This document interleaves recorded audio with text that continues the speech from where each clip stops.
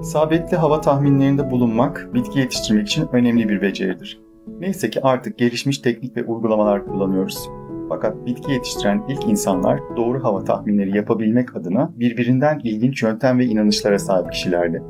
Örneğin güneşli bir günde görüş mesafesi normalin çok ötesinde ise eskiler bunun yağacak olan yağmurun habercisi olduğuna inanırlarmış. Kıpkızıl bir gün doğumu havanın kötüye döneceğini, ay giderek küçülürken bulutlu bir sabah uyanmak ise iyi havayı müjdelermiş çiftçilere. Dolunay zamanında sabah çöken sisin ertesi gün havanın güzel olacağının göstergesi olduğuna inanılırmış. Ve bu genellikle doğrudur.